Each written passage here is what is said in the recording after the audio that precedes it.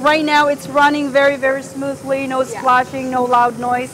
And the indication that there is some error is that it's either you hear a very loud noise coming from the water jet, there's so much splashing everywhere, and this one will be blinking red. That is, that means it's clogged. That's what it is. Okay. See, that's what it means. When it's splashing so much, something's wrong, but most likely from experience I could tell it's clogged.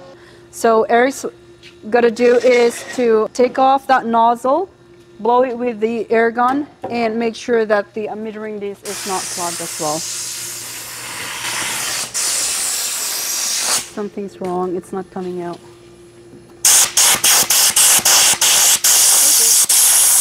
Okay, we're good.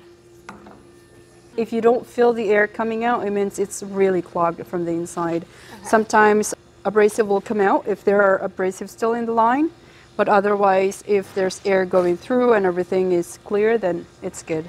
Now what we're going to do is to continue cutting.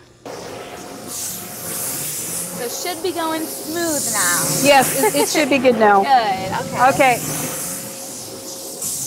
Yeah, so that, that was it. Again, like little, little, little problems.